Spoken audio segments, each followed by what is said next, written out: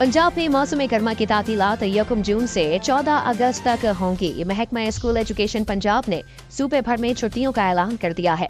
मजीद जानते हैं don news के नुमाइंदे नुमान लियाकत से। नुमान क्या कॉलेजेस में छुट्टियों पर भी यही नोटिफिकेशन नाफिज होगा? देखिए जी पंजाब भर में जो गर्मी की शिद्दत है, वो बढ़ रही है और पीडीएमए की जानब ऐसी अलर्ट भी जारी किया गया है की सुबह भर में जो हीट वेव के खतरात है, वो मंडला रहे हैं, जिसको मद्देनजर रखते हुए हुकूमत पंजाब की जानब से छुट्टियों का ऐलान कर दिया है। पहले मरहले में स्कूलों का नोटिफिकेशन जो है वो जारी किया गया है, जिसके मुताबिक सुबह भर में मौसम गर्मा की तातीलात यकम जून से चौदह अगस्त तक होंगी और तलीमी सरगर्मियों का आगाज़ दोबारा से पंद्रह अगस्त से होगा।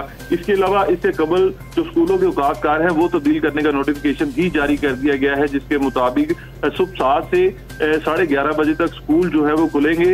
इसके अलावा जुमा के रोज जो औकात कार हैं, वो सात बजे से ग्यारह बजे तक होंगे। इसका नोटिफिकेशन भी जारी किया गया है और गर्मी की शिद्दत को नज़र रखते हुए ये दोनों नोटिफिकेशन स्कूल एजुकेशन पंजाब की जानब से जारी कर दिए गए हैं। हायर एजुकेशन की जानब से जो कॉलेजेस और यूनिवर्सिटीज के हवाले से नोटिफिकेशन है, वो ताहाल अभी जारी नहीं किया गया, लेकिन ये इम्कान ज़ाहिर किया जा रहा है कि ये नोटिफिकेशन भी जल्द जारी कर दिया जाएगा।